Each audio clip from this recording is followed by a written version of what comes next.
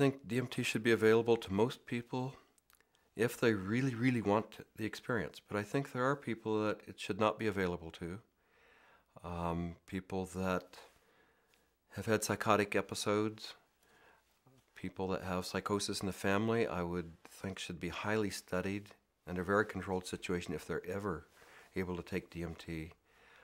Um, and certainly people with high blood pressure issues, cardiovascular and cerebral issues like uh, heart attacks, strokes, aneurysms probably should not take DMT. And there may be other groups, but right now I think it's quite a safe drug, although spiritually and emotionally challenging, and those are good things.